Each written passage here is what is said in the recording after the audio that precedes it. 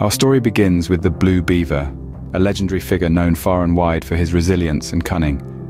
But even the most formidable warriors can fall. And fall he did, at the hands of the cunning marmots and a fearsome dragon. The Blue Beaver's defeat seemed absolute, his reign over the forest ended. But unbeknownst to the marmots and the dragon, the Blue Beaver had a secret weapon, a faithful pet terrier. This terrier, small but fierce, took off in a desperate dash to save his fallen master. But tragedy struck as the terrier stumbled, falling off a cliff and into the gaping maw of the waiting dragon. The marmots, witnessing this horrifying spectacle, were not deterred.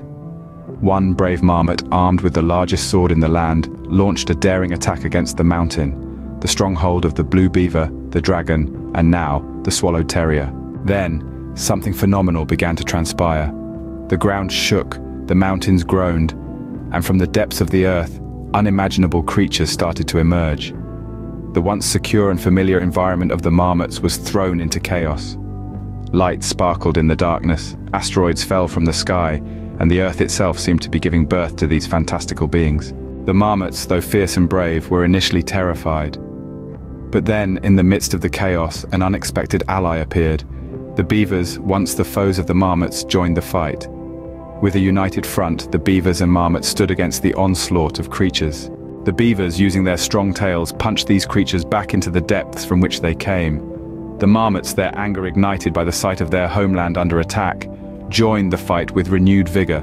And so, through the chaos and the conflict, and in the face of overwhelming odds, a new alliance was formed.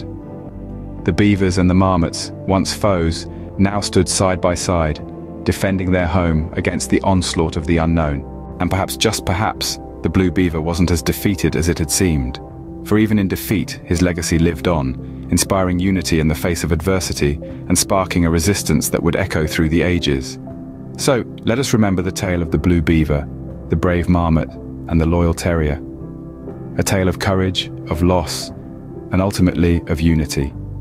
Because in the end, it is not the individual that triumphs, but the collective. And that, dear listeners, is a lesson worth remembering.